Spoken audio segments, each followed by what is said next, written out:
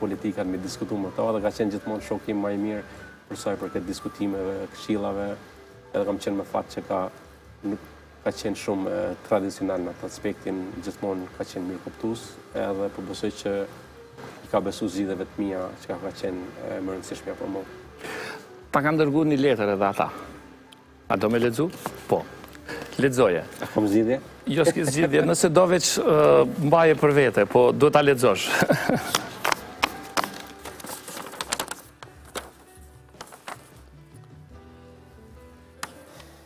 I dashur biri ynë Fridon.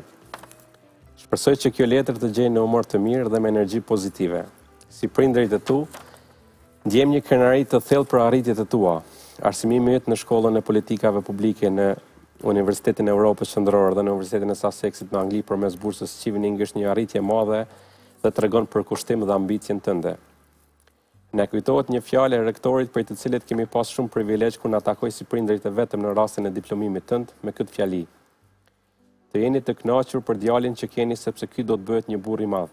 Dhe si duket parashikimet e tij po realizohen për shkak se ti vërtet je një burrë i madh. Dashuria prindërore është një ndjenjë e veçantë, e thellë dhe pa kushte.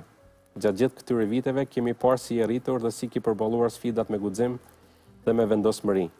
Na bën të ndihemi krenarë kur të shohim si je bërë. Ti ke sjellë një zë të ri dhe frymëzim në parlament dhe je shembull që shumë të rinj do të duan ta ndjekin.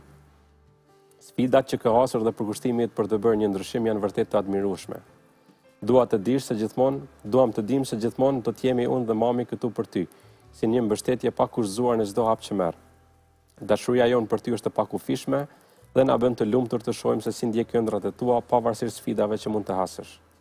Të urojmë çdo sukses në aventurat e tua të ardhshme, Mos harro se je një burim frymëzimi jo vetëm për familje, por dhe për shumë të tjerë. Me dashuri babi dhe mami. Të ndalemi te kjo fjalia e frymëzimit. Mendon se je i tillë për komunitetin tënd, për të rinjët, duke marrë parasysh kontekstin për të cilin po flasim? Besoj që po. E ndjen këtë përgjegjësi? Unë gjithmonë e kam thënë që politika pak të na është bërë më shumë si privilegj. si një profesion luksi, mirëpo në në aspektin tim personal, besoj që është një përgjegjësi e madhe, mhm. për shkak se je një zë i vetëm në parlament për një grup të njerëzve në nevojë.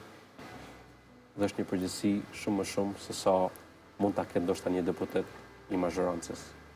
Dhe gjithmonë e kam trajtu profesionin e deputetit si të tillë. Sa ke arrit që këtë përgjegjësi të ndën ta konkretizosh në parlament me të mira për komunitetin, me politika që janë në favor të komunitetit.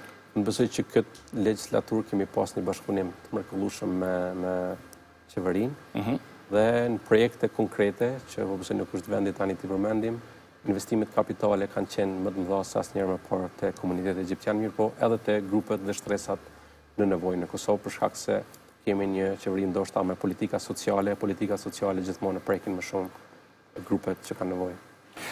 Kemi një fotografi në të cilën ti je duke nënshkruar betimin aty. Po. Ky është momenti. S'të kisha njoft. Se jam plak, s'e kam dit. A po thu? Po, kjo është nga dita e parë si deputet, jam duke nënshkru deklarimin Është një formë e deklarimit që bëjmë si si deputet.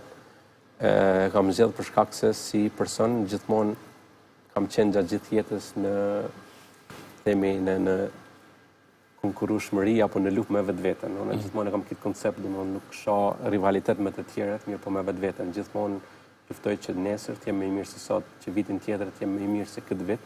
Mm -hmm. Edhe përtej natyrës sime introverte gjithmonë